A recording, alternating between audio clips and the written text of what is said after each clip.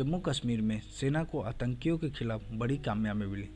सेना ने मुठभेड़ में तीन आतंकवादियों को मार गिराया लेकिन दुख की बात यह है कि हमारे सीआरपीएफ के एक डिप्टी कमांडेंट घायल हुए और साथ में ही एक सिविलियन भी अपनी जान गंवा दिए।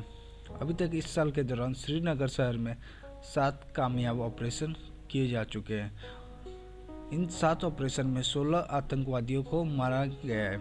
इस साल कुल बहत्तर ऑपरेशन में 177 आतंकवादियों को मारा गया है। इसमें बड़ी तादाद विदेशी आतंकवादी की है, जिसका संबंध पाकिस्तान से है। इस आतंकवादी जो मारे गए थे, वो पाकिस्तान से जुड़े थे।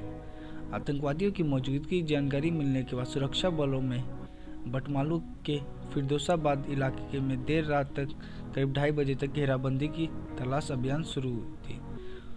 आतंकवादियों ने सुरक्षा बलों पर गोलीबारी की, जिसके बाद तलाश अभियान मुठभेड़ में तब्दील हो गया। अधिकारियों ने मुठभेड़ में कौशन रियाज नाम के एक महिला की मौत हो गई।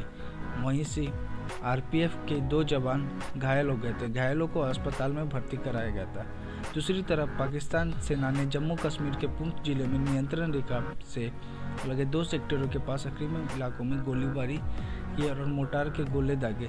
भारतीय सेना ने भी इसका मुंहतोड़ जवाब दिया। पाकिस्तान सेना ने सुबह करीब पौने सात बजे बिना किसी उकसावे के संघर्ष विराम का उल्लंघन करते हुए बालाकोट और मेंढर सेक्टर में छोटे हथियारों से गोलीबारी और मोटार के गोले दागने लगे।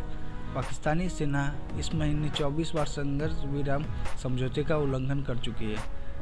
राजौरी ज़िले में सुंदरबनी सेक्टर में नियंत्रण रेखा के पास मंगलवार को पाकिस्तानी सेना ने संघर्ष विराम समझौते का उल्लंघन करते हुए भारी गोलीबारी की थी। उस गोलीबारी में हमारे एक जवान भी शहीद हो गए थे और दो जवान घायल हो गए थे। अगर आप इस चैनल पर नए हैं तो चैनल को सब्सक्राइब कर लें, साथ ही साथ बेल आइकन दबा दें ताकि हमारी चैनल से जुड़ी हर खबर आपको मिलती रहे।